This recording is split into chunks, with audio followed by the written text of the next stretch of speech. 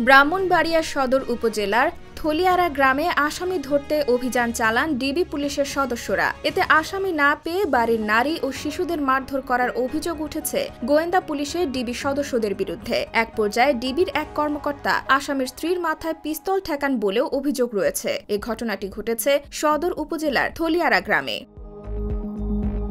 এ ঘটনায় তিন সদস্যের তদন্ত কমিটি গঠন করেছে পুলিশ। এ সম্পর্কে তদন্ত কমিটির প্রধান অতিরিক্ত পুলিশ সুপার জয়নাল আবেদিন বলেন, সদর উপজেলার থলিয়ারা গ্রামের বাসিন্দা ও সৌদি প্রবাসী নুরুল আলমের বাড়িতে শুক্রবার বিকালে আসামি গ্রেফতার করতে অভিযান চালায় ডিবি পুলিশ। সম্প্রতি তাদের বিরুদ্ধে আনা অভিযোগ তিন কার্যদিবসের মধ্যে তদন্ত করে প্রতিবেদন দিতে নির্দেশ দেওয়া হয়েছে বলে জানান তিনি।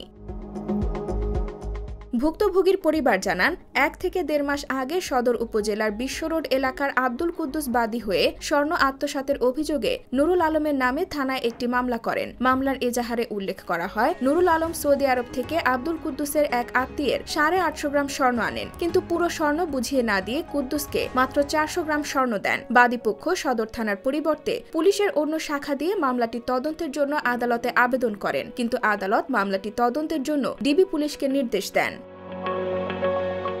সেই সূত্রে শুক্রবার বিকেল চারটার দিকে নুরুল আলমের থলিয়ারা বাড়িতে সাদা পোশাকে আসেন ডিবি পুলিশের সদস্যরা। তখন বাড়ির নারী সহ অন্যদের সঙ্গে পুলিশের ধস্তাধস্তি হয়। ডিবি পুলিশের এসআই রেজাউল করিম এক পর্যায়ে নুরুল আলমের স্ত্রী বন্যা বেগমের দিকে পিস্তল তাক করেন। এমনকি নয় বছরের শিশু সন্তানকে চুলে ধরে টেনে হিঁচড়ে গায়ে হাত তোলেন। এসব দৃশ্য মুঠোফোনে ভিডিও করা নুরুল আলমের ভাতিজিকেও তারা মারধর করেন। তার মাথায় বন্দুক দিয়ে আঘাত সহ গুলিও ছোড়েন পুলিশ সদস্যরা। পরে আসামকে না পেয়ে পুলিশ সদস্যরা সেখান থেকে চলে যান। IBTV USA, New York.